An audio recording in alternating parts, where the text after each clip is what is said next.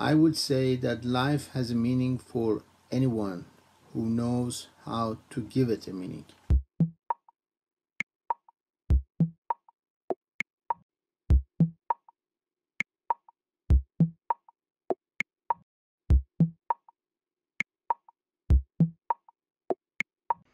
Searching for the meaning of life is not reserved for wealthy. I would say that life has a meaning for anyone who knows how to give it a meaning.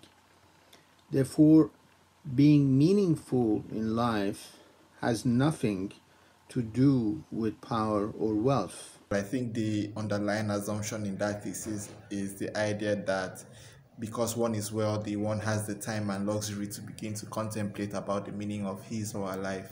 But that is certainly not true. The question of life's meaning is something that comes to um, every individual, um, whether rich or poor. Most wealthy people are white pages of history, as we have seen it in history. But history remembers those who know how to discover, how to create, and how to think. Uh, these are scientists, these are artists, these are philosophers. So, say for instance, you're uh, you're a waiter um, uh, collecting minimum wage and you're working for um, seven days a week.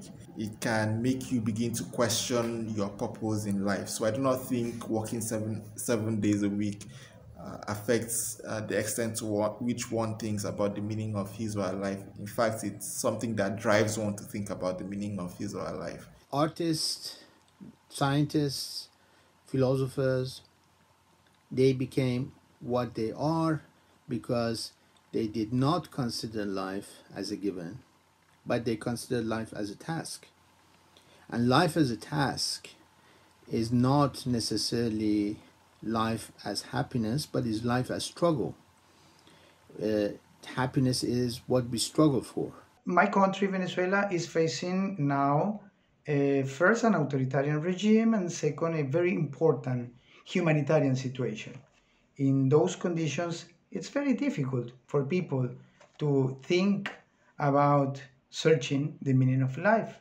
It is very important to think about the meaning of life because it allows you to check inside yourself to make a diagnosis about what's good or what's not going uh, well in your life. Knowing whether one's life or deciding for oneself if one's life is meaningful or not goes a long way in determining how that individual approaches life. So, if you think life is meaningless, for instance, um, um, it is possible that you would approach life with a bit of um, pessimism. But if you think your life is meaningful, it is obvious that such an individual would want to strive for that meaning and would want to accomplish that meaningfulness before he or she passes away. And that affects also affects how the individual um, relates to um, other people in, in the society. And it is for this reason I think that it is also right uh, to think about the meaning of life.